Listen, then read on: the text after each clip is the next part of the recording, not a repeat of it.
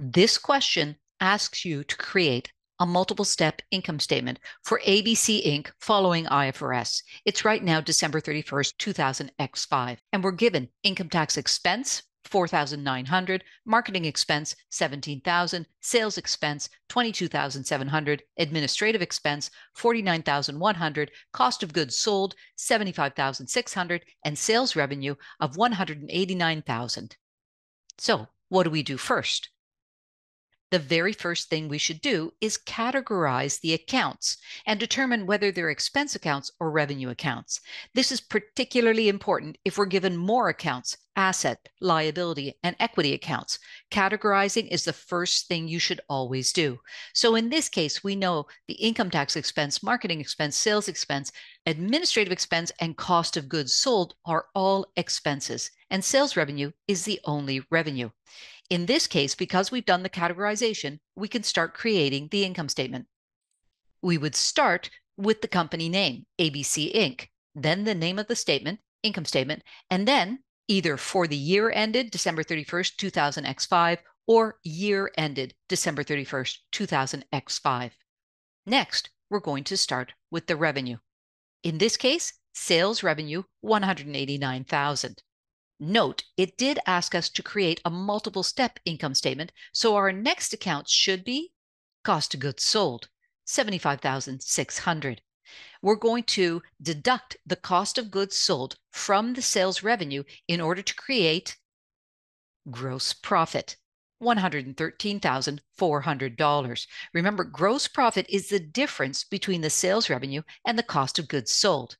Next, we would have a heading operating expenses. Those operating expenses would be all the expenses except for the income tax expense.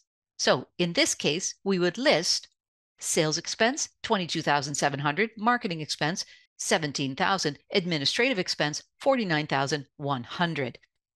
Because there are multiple expenses, we would now need a subtotal. Total operating expenses 88,800. Next, gross profit 113,400 minus total operating expenses of 88,800 would equal income before income taxes $24,600. What's next? We have to put in the income tax expense $4,900. When we take the income before income taxes, 24,600, and deduct the income tax expense, $4,900, we get net income of $19,700. This is a basic multiple step income statement. Now, notice that in this listing of accounts, we got an account called cost of goods sold. That tells us that ABC Inc. uses the perpetual inventory system. But what would we get if the company used the periodic inventory system instead to account for their inventory transactions? In that case, we would get a listing of accounts such as freight in $2,500, purchases $77,900, purchase discounts $1,800, opening inventory $18,000, closing inventory $21,000. What would we have to do on the income statement if the company used the periodic inventory system and we received a list of accounts? To start, we would have the same titles. Start with the company name, ABC Inc., income statement, the name of the statement, and for the year ended December 31st, 2000 X5. There's been no change between the perpetual and the periodic inventory system. Sales revenue would also show up exactly the same, 189,000. Then we would have a heading, cost of goods sold, but no total because we haven't calculated it yet we would begin with opening inventory, 18,000. We would add in all of the purchases, 77,900, but we would deduct the purchase discounts, $1,800. We deduct it because the purchase discounts reduce the cost of purchasing the inventory our subtotal would be net purchases. So 18,000 plus 77,900 minus 1,800 is equal to $94,100.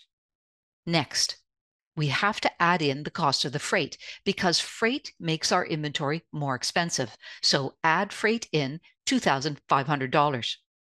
This would give us total inventory available for sale, which would be the net purchases 94,100 plus the freight in of 2,500 for a total inventory available for sale of $96,600.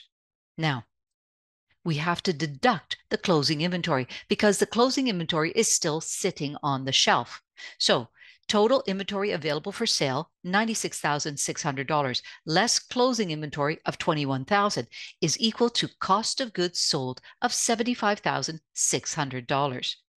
Does that look familiar? It's identical to the cost of goods sold under the perpetual inventory system, $75,600. So there's no change in the amount of cost of goods sold. Instead, what's happened is there's a difference in the way we calculate the cost of goods sold. Under the perpetual inventory system, cost of goods sold is simply an amount that's in an account on our general ledger called cost of goods sold. But for the periodic inventory system, we end up with a lot of different accounts on our general ledger, and we have to calculate the cost of goods sold. Because we have the cost of goods sold, we can now calculate the gross profit. 189,000 for sales revenue minus the cost of goods sold of 75,600 is gross profit equal to $113,400, exactly the same as it was under the perpetual inventory system. In fact, the remainder of the statement is identical we would have the operating expenses, sales expense, marketing expense, administrative expense, total operating expenses, income before income tax, income tax expense, and net income, which would result in a net income which would be identical under both methods, $19,700. As you can see, the only difference between a perpetual inventory system, which has a cost of goods sold account of 75,600, and a periodic inventory system, which has multiple accounts, including purchases, purchase discount, freight in, the result is the same. Cost of goods sold 75,600. Hopefully, this has helped you to understand how to calculate the cost of goods sold when a company is using the periodic inventory system.